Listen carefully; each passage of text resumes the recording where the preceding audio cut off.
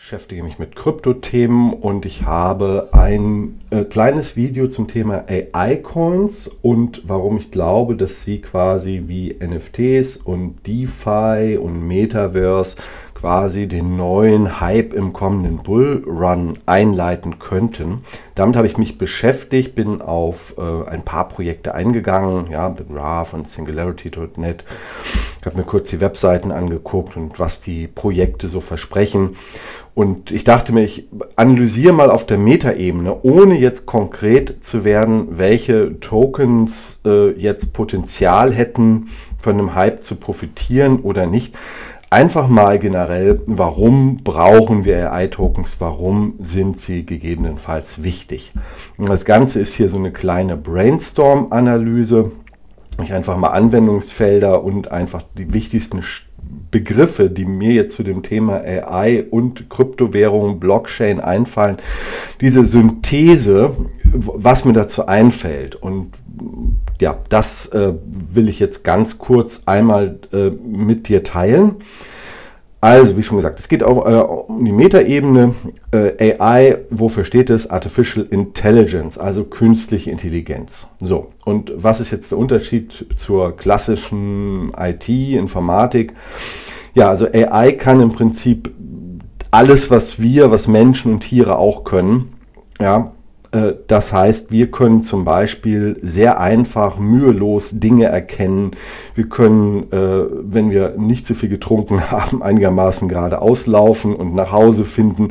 Wir können ähm, ja, Stimmen erkennen, wir können Gesichter erkennen, äh, wir können komplexe Greifbewegungen lernen, ja, zum Beispiel mit einem Schlüssel ein Schloss aufzumachen, selbst wenn wir den Schlüssel und das Schloss und die Tür noch nie zuvor in unserem Leben in der Hand gehabt haben. Also wir können adaptiv mit unserer Umwelt reagieren, uns an unsere Umwelt so anpassen. Oder wir können uns auch eine, eine Schleife am, am Schuh zuschnüren. Ja, und das ist jetzt für die Robotik sehr, sehr schwierig. Jedenfalls mit prozeduralen Algorithmen das einfach zu programmieren das ist schwierig. Und die AI, die benutzt jetzt eben Methoden aus der Biologie, guckt sich also an, was passiert da. Aha, Neuronen tauschen Informationen miteinander aus, die wechselwirken miteinander, sind irgendwie mit Synapsen verbunden. Da werden dann, dann Gewichte verstärkt und abgeschwächt in Abhängigkeit von Belohnung und Bestrafung. Ja, also ganz grob kann man sagen, die AI kann unglaublich komplexe ähm, Daten auf das Wesentliche reduzieren, ja, auch das, was wir sehen, ja, da wird, un, was wir sensorisch wahrnehmen, da wird unglaublich viel gefiltert und nur das, was wesentlich ist für uns, was einen Wert hat, einen Informationswert, ja, das äh, gelangt quasi in unser, unter, in unser Bewusstsein und solche Dinge wie Details, wie, wie ist jetzt die Baumrinde beschaffen, wenn wir durch den Park joggen, das ist eine irrelevante Information, die bringt uns nicht weiter und die wird dann von unserem Gehirn ausge, rausgefiltert, gelangt gar nicht in unser Bewusstsein. Ja, das ist schon eine unglaubliche Form von Data Mining, also wesentliche Informationen aus einer Vielzahl von Daten, die quasi für uns wertlos sind, herauszufiltern und unsere Aufmerksamkeit auf die Dinge zu richten, die dann für uns interessant sind. Ja, natürlich auch biologisch, emotional geladen. Ja gut, und ganz grob kann man sagen, Biologie äh, unterscheidet in sensorischer, also sehen, hören, schmecken, Informationsverarbeitung und motorischer. Und genau diese beiden Aspekte, das leistet die AI. Nicht mehr und nicht weniger. Dann gibt es noch den Bereich der Agentensysteme. Das ist auch ein Unterbereich der Informatik und der künstlichen Intelligenz, da äh, gibt es äh, eine Definition, die mal äh, ein Forscher gefasst hat, um sogenannte intelligente Systeme zu definieren. Ja, aber ähnlich in der Mathematik, wo auch Kreise, Flächen, Körper, die gar nichts mit der physischen Welt zu tun haben, das sind einfach mathematische Begriffe, einfach so definiert werden. Genauso sind intelligente Systeme, ist intelligent eigentlich nur so ein Begriff wie soll und haben in der Buchhaltung. Ja, also steht einfach einfach nur für die linke und die rechte Seite. Ein intelligentes System ist so definiert, es ist proaktiv, es ist reaktiv und es hat Social Abilities. Das heißt, ähm, Also ein intelligenter Agent ist, äh, oder wenn ich jetzt zum Beispiel eine ähm, DEX habe, wo ich jetzt äh, EOS in PBTC umtausche oder in USDT, dann rufe ich die Smart Contract Funktion auf, indem ich da EOS hinschicke, sage, ich möchte PBTC und der Smart Contract schickt mir reaktiv dann die PBTC Tokens zurück, führt also einen Token Swap durch. Das ist nur reaktiv. Wenn ich aber jetzt ein Agentensystem habe, der jetzt für mich tradet, der jetzt einfach Preise analysiert und sagt, ah, da ist jetzt eine Arbitragemöglichkeit von Börse A nach B. Da kaufe ich jetzt schnell in, in Millisekunden Coin A und verkaufe den mit Gewinn auf Börse Coin B. Ja. Äh, dann ist das ein proaktives System und weil es über mehrere Agenten geht, sich also der, der Bot dann eben äh, mit anderen Bots und Programmen unterhält, haben wir also auch Social Abilities, also Kommunikation mit Menschen oder mit anderen Bots. Und damit wäre dann ein Trading-Bot per Definition äh, in der Informatik der Agentensysteme intelligent. Ja, Gut, prinzipiell ist jeder Thermostat auch intelligent nach der Definition, aber äh, ja, nur, dass man einfach weiß, diese Begriffe sollte man jetzt auch nicht zu überbewerten. Aber das ist jetzt damit gemeint, wenn man von intelligenten Systemen spricht. Ja, was auch äh, viele vernachlässigen, ist einfach die Bedeutung vom Aushandeln von Schnittstellen. Agentensysteme sind äh, eigentlich so, also das Konzept ist Jahrzehnte alt, aber findet ganz, ganz wenig Anklang. Äh, ganz oft ist es immer noch so, dass Informatiker 99 Prozent der Fälle dafür bezahlt werden, Schnittstellen anzupassen. Also also der Kunde hat Daten, zum Beispiel eine Excel-Tabelle oder eine Preisliste und die muss in das jeweilige äh, ja, ähm, äh, CMR-System der Firma dann eingebaut werden oder ERP-System und äh, da gibt es dann keine, keine automatisierte Importfunktion. Das muss irgendwie äh, jemand machen, ja. Oder ich habe verschiedene Netzwerke, aber äh, in, oder, oder ich habe Druckdaten, ja, die müssen an ein bestimmtes Druckformat gepasst werden mit bestimmten Anforderungen, die standardmäßig der Druckertreiber nicht unter, unterstützt, ja. Oder es müssen sehr schnell Mailings erstellt werden. Also sowas, äh, klassische IT-Daten im Format A an das Format B über Programmcode, was im Prinzip die wichtigen Daten rauspackt und oder was weiß ich, eine JSON-Datei in XML überführen. Ja? Also das ist auch ein wichtiges Thema, das Aushandeln von Schnittstellen, wo zurzeit sehr viel Reibungsverluste sind und die meisten Kosten in der IT einfach entstehen, dass Menschen dafür bezahlt werden müssen, inkompatible Systeme kompatibel zu machen. Und dieses Thema Schnittstellen von Aushandeln automatisiert, da sind Agentensysteme super.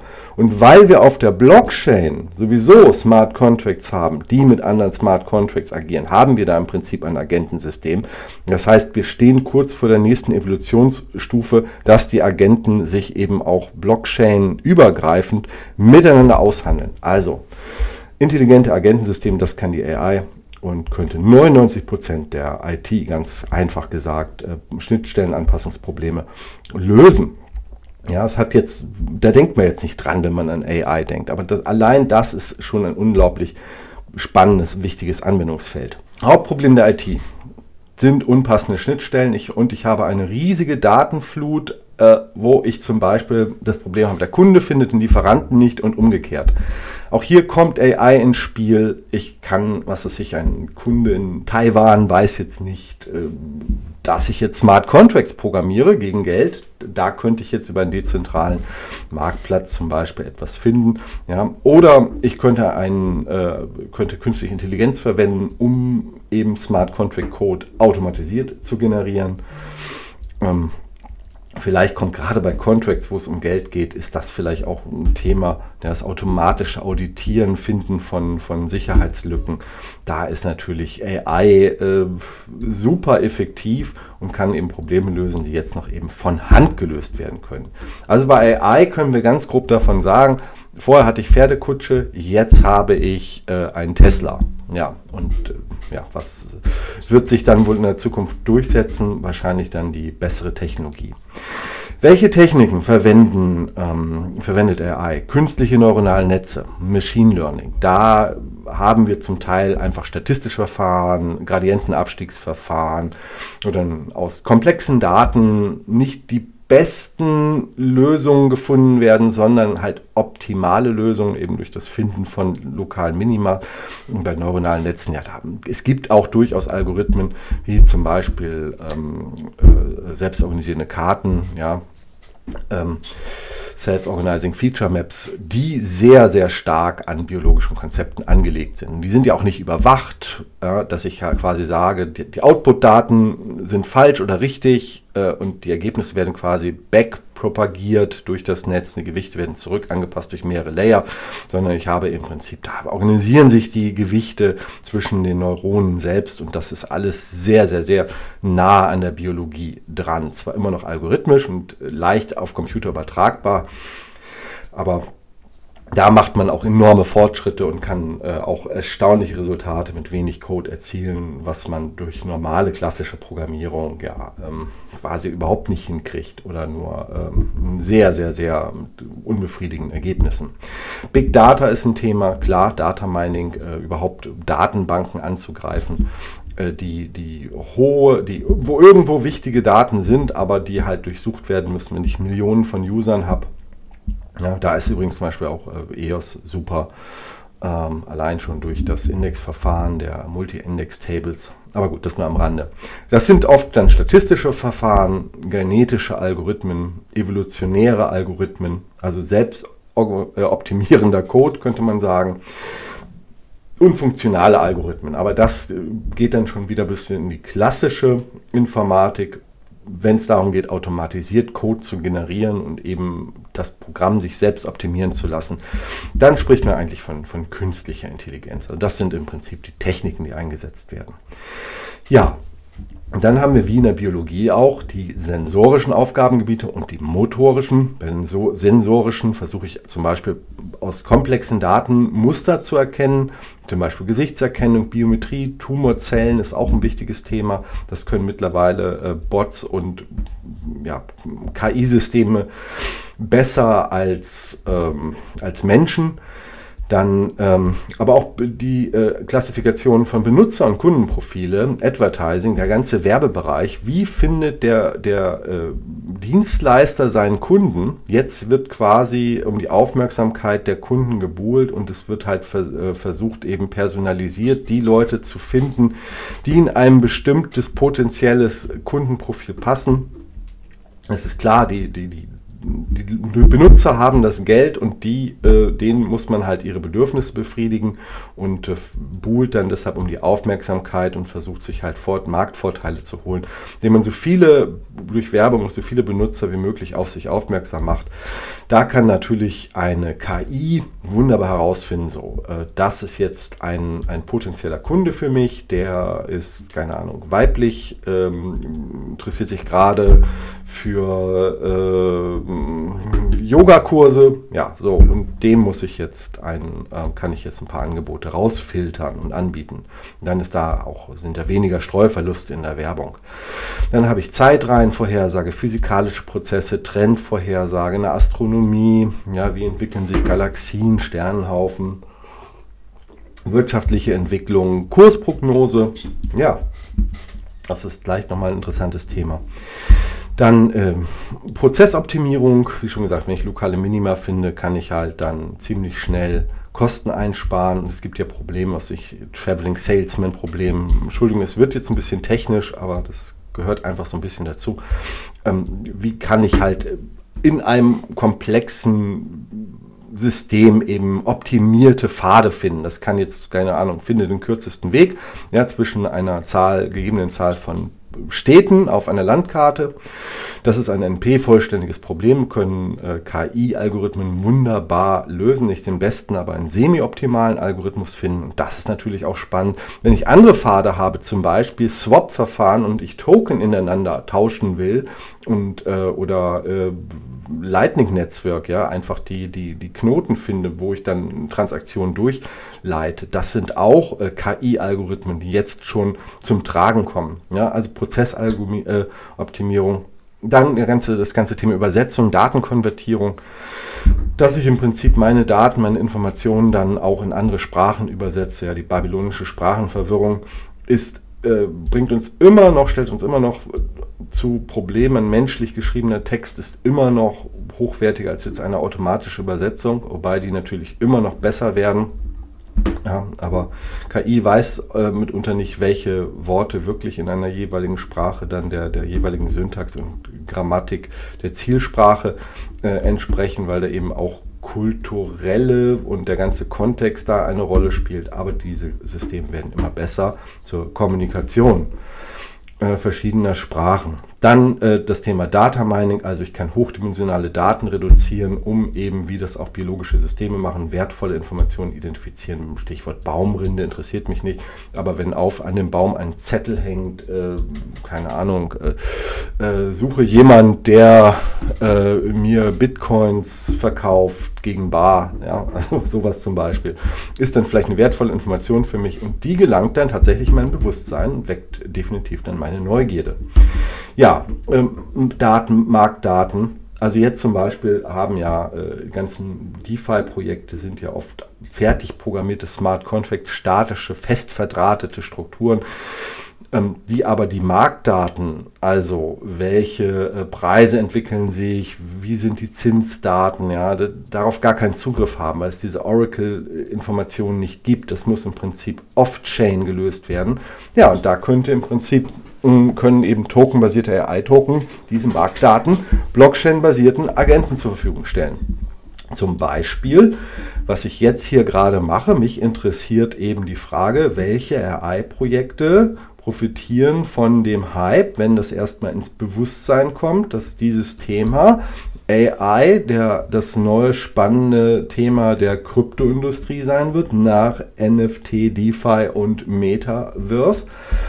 Ja, analysiere alle Webseiten, ähm, klassifiziere die Daten, analysiere die Gründer, analysiere das GitHub Repository, was ist auf den Social Media Seiten los und kümmer, guck dir an, wie sind diese Projekte miteinander vernetzt, wer sind die Geldgeber, wer profitiert davon, wird da noch mehr Geld reinfließen, ist es ein kleineres Projekt, ist, sind die Gründer schon mal durch Scams aufgefallen in der Vergangenheit. Sowas kann mir die AI wunderbar identifizieren, theoretisch. Gut, ähm, aber wo setze ich da jetzt an? Jetzt müsste ich wirklich erstmal schauen, okay, wie ähm, parse ich die Webseiten, äh, wie übermittle ich die Daten an die AI. Also die Möglichkeiten ist da, aber die Schnittstellen sind noch nicht geschaffen und das kann im Prinzip AI hier für mich in Zukunft lösen. Also wenn jetzt ein Bot zum Beispiel Marktforschung betreibt, nur im Kryptospace, Tokenanalyse, welche Tokens tauchen auf den dezentralen Marktplätzen aus, analysiert Off-Chain-Daten, bezahlt im Prinzip andere Bots, die diese Informationen mir quasi in, als JSON-Datei zur Verfügung stellen. Ich analysiere die in einem Smart Contract, einem dezentralen Programm und äh, handle dann diese Token automatisiert. Dann habe ich eine ganz neue Ebene der Trading-Bots entwickelt. Ja, dann kommen wir dann auch noch mal zum letzten Punkt später hier. Anwendungsfelder zähle ich gleich noch auf. AI-basiertes Yield Farming. Also, dass ich einen Bot habe, der für dich jetzt autonom arbeitet und ähm, ja, äh, mich quasi nur weckt äh, bei zentralen Entscheidungen. Ich halt sagen muss, da muss ich noch Geld nachschießen oder da wurden jetzt Gewinne gemacht, dass ich im Prinzip AI für mich arbeiten lasse, um Geld zu verdienen. Das ist die spannendste Anwendung. Zurzeit gibt es da noch kein Projekt, aber wenn es das gibt, dann werde ich mir das angucken. Dann der Bereich motorisch, genau, also motorische Anwendungsfelder der künstlichen Intelligenz, jetzt unabhängig von Blockchain, Robotik, Laufen, Greifen, Pathfinding, also Muskeln in einem komplexen, einer komplexen Umgebung steuern. Da spielt auch äh, das Thema Körperintelligenz eine Rolle. Das muss nicht alles neuronal gesteuert sein. Ja, also ähm, auch Insekten zum Beispiel mit wenig Neuronen können ja über komplexe Landschaften und Bäume hochklettern und ähm, ja, sehr Spinnennetze formen. Und das ist ja, äh, also was die Biologie da eben macht durch, durch biologische AI, ja, biologische Intelligenz, neuronale Informationsverarbeitung ist grandios. Greifen, Pathfinding, das ist äh, Wege finden, das sind Anwendungsgebiete. Motorisch ist auch das Generieren von Bildern oder Videos, ja, oder aus einem Foto eine komplexe 3D-Szene zu rendern, in der ich mich dann frei bewegen kann. Ja, DAL-E, OpenAI. Dann das Thema natürlich ChatGPT, Text- und Code-Generierung für automatisierten Support, Content-Generierung. Ja, und natürlich dezentrale Suchmaschinen. Auch da ist äh, AI eventuell mächtiger als unser liebes Google, wobei Google natürlich auch AI einsetzt. Bloß im Hintergrund immer behalten, Google schafft es, das gesamte Internet halt zu klassifizieren und liefert uns einfach sehr schnell Informationen und ähm, das geht halt nur durch optimierte Algorithmen, die auch nicht öffentlich sind. Die AI hat da eventuell die Möglichkeit, mehr Meta-E-Informationen rauszufiltern. Jetzt kommen wir zur Blockchain. Ja, ich, ich hoffe, dieser Vortrag ist jetzt nicht zu langweilig, aber ähm, wie schon gesagt, das ist ein komplexes Thema und äh, ich mache das auch, um selber meine Gedanken zu sortieren und mich diesem Thema anzunähern je mehr ich drüber mich damit beschäftige, desto klarer ist es ja, AI ist definitiv äh, ein noch komplett unterschätztes Gebiet, gerade im Kryptobereich. Also austauschen, Blockchain ist ideal für das Austauschen von Werten, wobei ich ähm, ja, äh, wenig Speicherplatz habe, also Bitcoin ist wie digitales Gold. Ich kann dezentral eben ähm, äh, zensurresistent Coins übertragen, Werte übertragen. Dann kam die nächste Evolution, die Smart Contracts mit Ethereum. Ähm, die natürlich auch einen First-Mover-Effekt gehabt haben, ja, wo erstmal das ganze Kapital reingeflossen ist. Und so sehe ich es übrigens jetzt auch in DeFi, dass hier die Projekte, die, die jetzt schon da sind und sich das, dass die einen Vorteil haben äh, gegenüber den, den Projekten, die dann später aufspringen und vielleicht auch bessere Lösungen und Schnittstellen haben, Aber letztendlich, was wird ein Entwickler oder ein Darst, ein Anbieter von AI-Services machen? Er wird sich natürlich auf den Plattformen äh, zuerst anmelden und seine Dienstleistung bereitstellen, wo auch am meisten Liquidität da ist, in Form von Token oder Coins. Ja, ähm, dann gab es ja das Thema NFTs und Metaverse, DeFi, dezentrale äh, Marktplätze da ist jetzt die nächste Ausbaustufe eben dezentrale Marktplätze nicht nur für Tokens sondern, und Coins, sondern für Daten oder eben Schnittstellen, APIs. Ja. Dann ähm, habe ich zensurresistente Marktplätze, ja, ein Datenmarktplatz, der nicht zensiert wird. Und ähm, ja, und ich habe bereits jetzt schon auf der Blockchain, das habe ich schon erwähnt, durch die Smart Contracts, die über JSON und über API-Calls miteinander auch kommunizieren, habe ich bereits Schnittstellen und Multi-Agentensysteme. Also ich habe nicht nur als meine Kunden sind nicht unbedingt User, Menschen, deren Aufmerksamkeit ich brauche, sondern meine potenziellen Kunden sind Bots. Du wirst vielleicht in wenigen Jahren nicht von Kunden leben, die dir ein Gehalt bezahlen oder denen du ein Produkt verkaufst oder eine Rechnung schreibst, sondern du wirst vielleicht ausschließlich von Bots leben, die deine Dienstleistung abkaufen, weil du einfach ein bestimmte Alleinstellungsmerkmale hast und ihnen vielleicht die Informationen, die sie brauchen, für die sie bezahlen, über die richtige Schnittstelle bereitstellst. Äh, hier entsteht ein neuer Markt. Ja, also Trading nicht mehr mit physikalischen Menschen, den, die erstmal kapieren müssen, was du kannst und dein Produkt gut finden müssen, sondern Bots, denen du Daten präsentierst, die abfragen, hast, haben andere Bots in der Vergangenheit dich gut bewertet und die dann aufgrund deiner Reputation, die im Botnetz dann, die du dir aufbauen kannst, dann schon da ist. Da sehe ich die Verbindung zu der, zu Blockchain-Technologie. So, dann die Probleme, die wir jetzt haben. Also KI ist speicher- und rechenintensiv. Äh, ich brauche äh, gerade um, also jetzt warum sind jetzt alte Algorithmen jetzt erst aktiv und werden jetzt angewendet in ChatGPT? Ähm, und, und können so tolle Dinge tun. Ja, weil ich jetzt eben über die Speicher, über die Cloud-Speicherlösung habe, über die Rechenkapazität, die ich dynamisch in der Cloud dazu buchen kann. Und äh, ja, Data Mining-Prinzipien, künstliche neuronale Netze, das ist alles sehr speicherintensiv. Es gibt noch nicht mal standardisierte Hardware für, äh, für Neurochips, für Mustererkennung.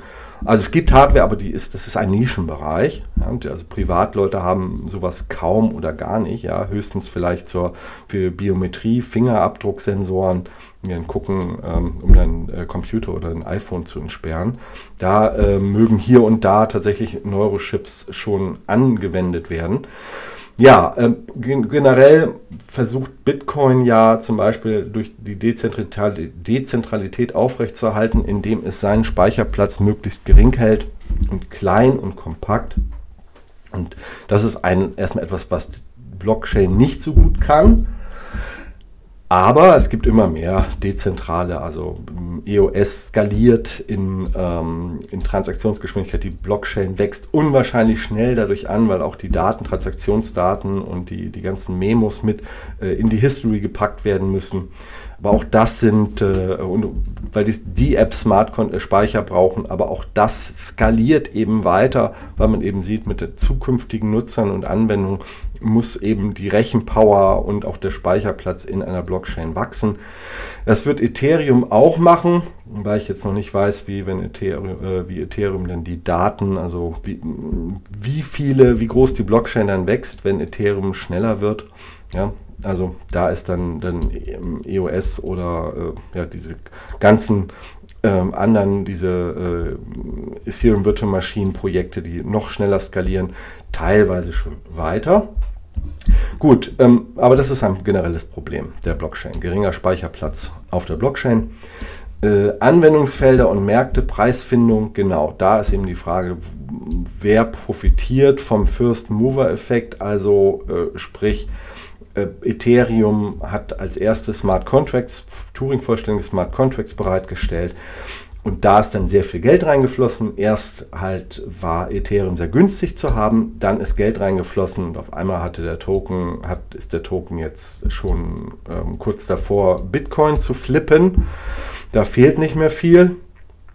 Ähm, genauso wird es in der AI sein. Irgendwelche Projekte werden sich da sehr schnell etablieren und ähm, Vorteile bieten. Ja, die Frage ist aber, mit, mit welchem äh, Hauptanwendungsfeld wird das passieren? Und jetzt kommen wir zu den möglichen AI-Anwendungsfeldern. Wobei, wenn ich in die, auf CoinMarketCap auf die Analysen gehe, dann finde ich AI und Big Data noch zusammengemischt. Ähm, ich denke, das wird sich nochmal auseinander dividieren, diese Kategorie. Aber hier ganz schnell nochmal die jetzigen Anwendungsfelder, die ich jetzt einfach mal für die Blockchain und AI äh, herausgefiltert habe. Also einmal dezentrale Marktplätze für Daten. Ja. Ähm, das macht McGrath zum Beispiel. Ja, eine Bewertung der Indexe durch gestakte Token, das ist ein Anwendungsfeld. Ich habe quasi Oracle-Daten, Preisdaten. Das passiert jetzt schon. Die möchte ich in die Blockchain überführen. Darauf sollen andere Smart Contracts zugreifen können. Und äh, die werden dezentral dann gehandelt. Ja, ähm, dann äh, dezentrale Suchmaschinen. Ja, ähm, auch interessant für AI wie schon gesagt, auch wenn diese Informationsverarbeitung off-chain passiert, kann ich diese dann eben über Oracle-Funktionen Smart Contracts bekannt machen und äh, dann können Bots darauf auf Basis dieser, dieser Daten dann Entscheidungen treffen. Ja? Also bei AI geht es eben auch darum, so ein bisschen wegzukommen von dem Gedanken, dass ich unbedingt mit Menschen, mit Tradern handeln muss, sondern ähm, der Fokus so ein bisschen sich in die Richtung Handeln mit anderen Bots verschiebt. So. Dann äh, dezentraler Marktplatz für AI-Services, also wenn die Industrie, was weiß ich, einen Musterklassifikator braucht oder äh, bestimmte Optimierungsaufgaben äh, machen möchte oder Content braucht, ja, oder Bots eben eine Marktanalyse brauchen, dann kann ein dezentraler Marktplatz entstehen und äh, auch mit einem Bewertungssystem, äh, der nicht zentralisiert über Schnittstellen läuft, sondern über standardisierte dezentrale allgemeine Schnittstellen und sich dann diese Marktplätze dann auch untereinander vernetzen. Ja. Dann Data Mining für DeFi, also für dezentrale Exchanges, Preisfindung und so weiter, wo ich dann eben auch gucke, okay, wie ist denn überhaupt gerade das wirtschaftliche Umfeld? Äh, erhöht die FED gerade die Zinsen? Gibt es gerade, ähm, ist, ist gerade ein neues Tesla-Werk äh, in Europa eingeweiht worden? Ist irgendwo eine Chipfabrik in Taiwan abgebrannt? Ja, also äh, haben wir gerade irgendwie Lieferengpässe irgendwo? Also das, damit kann natürlich auch automatisiert gehandelt werden, auch auf dezentralen zentralen Exchanges. Ja, Projektanalyse, Coin-Analyse, also was ich hier jetzt gerade mache oder ich werde demnächst Videos machen über ganz gezielt werde ich mir AI-Projekte raussuchen und diese nochmal zerpflücken, auch um mir die selber nochmal äh, klar zu machen. Und äh, da sehe ich eben ein hohes Potenzial in der Projektbewertung. Ja, Oracle Preisfindung, Trading Boards, Arbitrage Boards, ähm, Trends frühzeitig erkennen, also auch hochdimensionalen, komplexen Daten rauszufinden, hey, jetzt entsteht hier ein neuer Trend. Also vielleicht sagt mir die AI, hey, äh, wir haben jetzt hier automatisiert mal die Top 200 Krypto-Projekte analysiert und der neue Hype ist nicht ähm, ja, äh, AI-Tokens, sondern es werden zum Beispiel dezentrale Grid-Netzwerke sein, die Leute äh, als Vogelhäuschen im Garten aufstellen, um mit ihrem Nachbarn dann zensurresistent Informationen austauschen.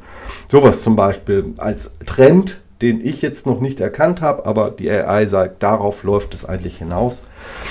Ja, das ganze Thema unzensierbare Daten, ja, soziale Medien, Medien generell, über Politik, über Wirtschaft, ja, äh, wir, uns wird ja in den Nachrichten nur das präsentiert, was, äh, wo Nachrichtenagenturen zentralisiert, ja, Reuters oder äh, ähm, äh, Deutsche Nachrichtenagentur das geht alles über zentralisierte Kanäle und eine KI kann uns eben über dezentrale Analysieren sagen, hey, das ist jetzt zwar interessant, aber da in Südamerika gibt es jetzt eine Firma, die sind super effizient eben aus Solarenergie äh, Wasserstoff herzustellen und haben, was weiß ich, Dorf, Dörfer auf einmal äh, in, in der Andenregion mit Energie versorgt. Also ich fantasiere jetzt einfach mal.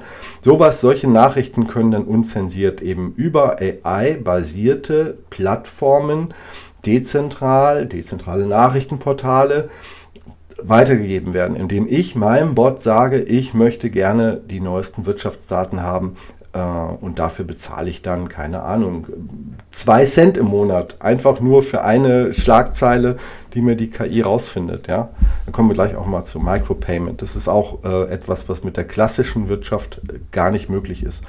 Ja, DeFi, Finden von optimalen äh, Umtauschfaden, äh, das, damit meine ich zum Beispiel, ähm, ja, ich will USDC in EOS swappen und äh, die DeFi-Anwendung liefert mir dann über einen KI-Algorithmus einen Hinweis, ja, wenn du auf EOS bleibst, dann äh, zahlst du 0,2% für den Swap.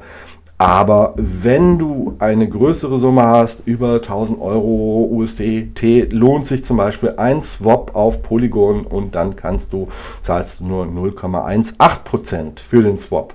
Sowas zum Beispiel kann die AI optimieren. Kann auch Preise aushandeln oder auch AI-basierte Versteigerungen, dass ich eben eine Dienstleistung anbiete. Ein allgemeiner Marktplatz für Dienstleistungen und die AI sucht mir im Prinzip dann potenzielle Kunden raus. Ja, etwas, was mühsam von Hand programmiert wird, aber das könnte die AI wesentlich beschleunigen. Dann brauche ich natürlich Reputationssysteme, Bewertungssysteme, also für andere Agenten und User, dass ich also weiß, okay, mit diesem Bot, der hat schon mal gescammt, der hat oder dieser User hat falsche Informationen ins Netzwerk geladen, versucht damit Preise zu manipulieren. Ich ignoriere seine Daten, die Reputation ist gering und die Wahrscheinlichkeit, dass ich mit diesem User jetzt äh, digital handle, das, äh, äh, die ist eher gering. Ja, dann kann ich aufstellen, wie, wie mutig bin ich ja, im Vergleich mit dem Handeln von, von Agenten und Usern mit geringer Reputation, weil mir diese Agenten vielleicht dann auch den geringsten, den meisten Nutzen eventuell bringen, weil sie eben ihre Dienstleistungen noch nicht an andere Marktteilnehmer äh, verkaufen können zu hohen Preisen, sind also noch vielleicht vergleichsweise günstig. Da kann ich dann selber eben mein Risiko einstellen und dann sagen, okay, die Reputation äh, muss mindestens 90 Prozent haben, weil ich eher konservativ bin. Ich möchte die Wahrscheinlichkeit, Geld zu verlieren, minimieren oder ich bin total mutig und gehe jetzt, äh, werde mit jedem äh, Agenten hier handeln oder User, auch wenn die ähm, Reputation nicht so gut ist, einfach in Erwartungshaltung, dass dieser Kunde für mich oder dieser äh, potenzielle Agent dann ähm, den meisten Gewinn verspricht. Ja, wenn ich mit ihm handle, von ihm Daten abkaufe oder Dienstleistungen kaufe oder verkaufe, ja, dann autonome Agenten, wie schon gesagt, das sind Smart Contracts, proaktive Smart Contracts, die also dann regelmäßig irgendwelche Aufgaben erfüllen. Pay for Oracle Calls und hier kommen wir zum Thema Micro, Micropayments. Ich kann tatsächlich und, und Reliable Services, also zuverlässige Services, dass ich also sagen kann, ich möchte jetzt Preise haben, die äh, von, was ist ich, der Bitcoin-Kurs auf den wichtigsten Exchanges. Und da habe ich das Problem, dass ich dann zum Beispiel, was ist ich, eine Yahoo-Schnittstelle einbinde. Ich möchte diesen Feed, Datenfeed verwenden. Dann sagt Yahoo irgendwann, ich bekomme, wir verdienen damit nichts, äh, diesen Service bereitzustellen. Ich kann aber sagen, dieser Service ist mir wichtig. Ich frage den nur einmal im Monat ab oder einmal am Tag ab.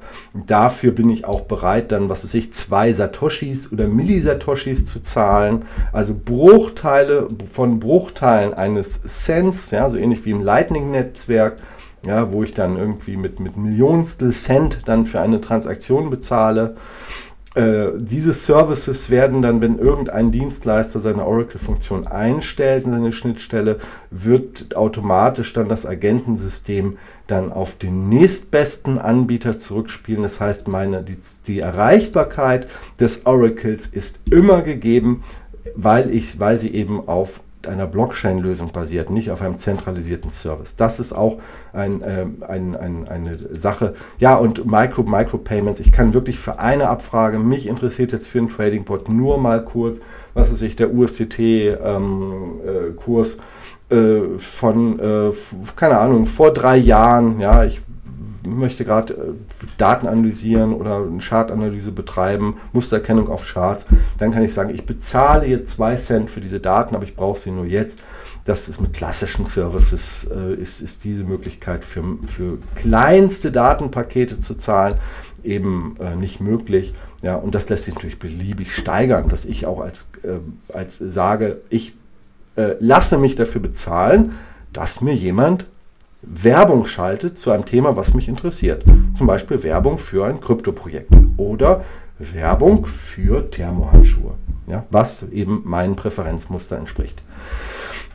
Anderes Thema natürlich autonome Generierung von Smart Contract Codes, dass ich im Prinzip nicht mehr selber Code generiere, sondern sage, ich möchte jetzt einen Token deployen, erstelle mir einen, aber dieser Token soll eben die Eigenschaften zum Beispiel mitbringen, dass er äh, mit jeder Transaktion 0,01% burnt. Ja, so, solche Aufgaben kann eben äh, ein, eine KI erstellen und wird dann auch dann die gängigen Sicherheitsabfragen mit reinbringen. Ja, ähm, kann ich vielleicht auch einstellen, erlaube ich, dass Bots, andere Bots diesen Code aufrufen? Ja, natürlich erlaube ich es, denn ich möchte ja äh, neue Kunden finden und ob die jetzt Physis, ob das jetzt Menschen sind oder Bots, ist mir völlig egal. Hauptsache, sie haben werthaltige Tokens für mich, ja, sprich Geld.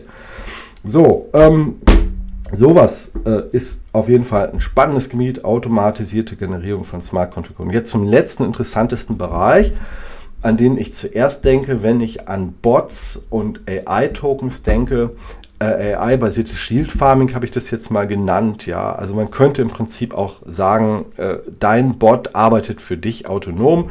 Du gibst ihm Kapital, meinetwegen Bitcoins im Wert von 1000 Dollar und der soll für dich das meiste rausholen und dieses Kapital eben vermehren und nach Strategien lösen äh, mit in Verbindung eben mit anderen Bots.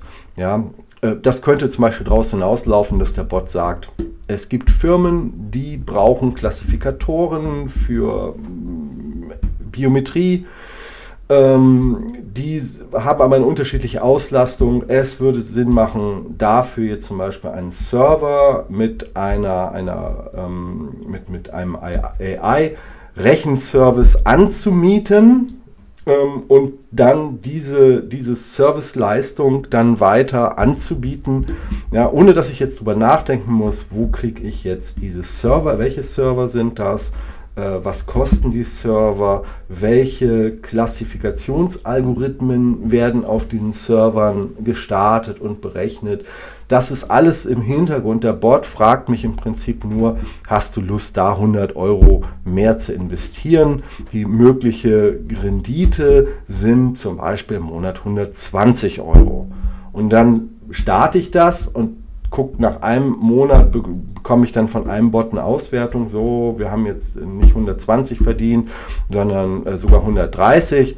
Möchtest du eventuell noch mehr investieren? Und dann sagst du, okay, ich investiere jetzt nicht nur 100 Dollar in dieses Rechen, die Anmietung von Rechenpower, sondern 120, denn ähm, dann verdiene ich dann im nächsten Monat dann nicht nur, habe ich nicht nur äh, 20 Dollar Gewinn, sondern 50 Dollar Gewinn. Sowas zum Beispiel. Ja, also lasse dein Bot für dich arbeiten. Das ist natürlich jetzt sehr einfach, einfach gesagt und formuliert. Aber genau das ist eine Entwicklung, die ich bei der AI und bei AI-Tokens sehe, dass immer mehr auch äh, kognitive Arbeit eben in die IT ausgelagert wird. Und was ist das Wichtigste beim Auslagern von IT? Richtig, dass ich dafür bezahlt werde, dass mir jemand Geld dafür gibt, dass ich diese Services anbiete und äh, dazu brauche ich dezentrale Marktplätze und einen Bot, der eben ja, für mich arbeitet. Und das ist, darauf warte ich noch, auf das Projekt, was äh, diese Fähigkeiten mit sich bringt. Ja. So, das soll es an dieser Stelle gewesen sein mit der Brainstorm-Analyse zum Thema AI-Token. In den nächsten Videos werde ich mir äh, auch mal das eine oder andere Projekt konkret vornehmen und da nochmal und analysieren. Vielleicht gucke ich auch nochmal, wie kann ich wirklich AI benutzen, um dieses System zu verwenden. Ja, ist natürlich, äh, da muss man natürlich jetzt auch ein bisschen umdenken, nicht selber jetzt sich auf seinen, seine eigenen äh, Gedanken und Fähigkeiten und sensorische Analysefähigkeit konzentrieren, sondern eben auch dann diese Tools tatsächlich verwenden, ja, um dann eben automatisiert eben andere Projekte zu analysieren. Damit werde ich mich auch beschäftigen. Ich finde es super spannend, denn gerade in diesem AI-Thema ist äh, bis vor kurzem äh, Anfang der, kurz nach der Jahrtausendwende gab es da schon viel Hoffnung und ist da nicht viel passiert und jetzt eben durch die Blockchain-Technologie sehe ich eben, dass AI mit dezentralen Marktplätzen in Verbindung kommt und äh, das ist einfach zentralisierten Services überlegen. Ja, ja ähm, die nicht über die Schnittstellen verfügen und auch nicht verfügen wollen, eben mit anderen Bots auszutauschen. Hier sehe ich wirklich über die Blockchain-Technologie die Möglichkeit, dass Agentensysteme eben tatsächlich Realität werden. Deshalb glaube ich, dass das hier AI-Tokens der nächste Hype in diesem oder spätestens im übernächsten ähm, Bullrun sind. Das ist jetzt rein subjektive Schätzung von mir, aber darauf werde ich meine Aufmerksamkeit, ich wette jetzt einfach darauf, dass äh, das Thema tatsächlich an Bedeutung gewinnen wird, indem ich da so ein bisschen Zeit investiere und ähm, ja, dann freue dich auf meine nächsten Videos. Da wird es dann auch konkreter, welche AI-Projekte denn jetzt auch ähm, eventuell Potenzial haben. No Financial Advice, aber so ähm, aus der Metaebene heraus, um ähm, ja, das erstmal als Basis zu nehmen, dass AI der nächste Hype wird. Wenn dir das Video gefallen hat, dann freue ich mich über ein Like. Tut mir leid, wenn das manchmal etwas langatmig und nicht so konkret auf den Punkt gebracht manchmal rüberkommt. Aber um sich so einem komplexen Thema anzunähern, muss man einfach auch mal in die Metaebene gehen, auch mal so ein bisschen äh, hin und her springen, um eben sich aus der Vielzahl der Informationen das zusammenzusuchen und zu zentral, zu fokussieren, zu komprimieren, ja, und die wesentlichen Daten rauszufiltern. Genau diese Aufgabe werden später AIs machen. Dann wird es interessanter werden, weil ich nur das Ergebnis habe. Ja, was ist ich kaufe The Graph oder Singularity.net. Das wäre dann so eine Sache. Ja, ähm, ja das soll es an dieser Stelle gewesen sein. Danke für deine Aufmerksamkeit. Bis zum nächsten Video.